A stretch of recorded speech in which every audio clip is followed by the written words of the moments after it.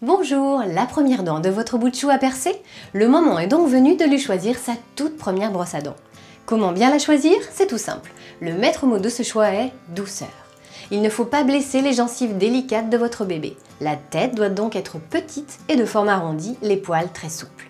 Elle doit de plus être facile à prendre en main avec un manche en matière antidérapante au niveau du pouce.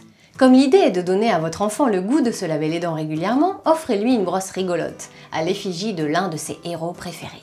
Et munie d'une ventouse à la base du manche afin qu'elle tienne debout toute seule et ne traîne pas sur le lavabo.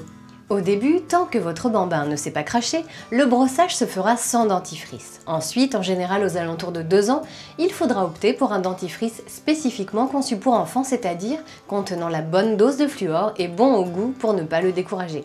Enfin, rien de tel que l'exemple pour apprendre l'art du brossage. Alors, matin et soir, brossez-vous les dents en même temps que lui. Vous lui donnerez ainsi les bonnes bases. 3 minutes de nettoyage et toujours en frottant doucement du rouge vers le blanc, c'est-à-dire de la gencive vers la dent. Les premiers temps, bien sûr, il faudra l'aider un peu, mais bien vite il saura se débrouiller comme un grand.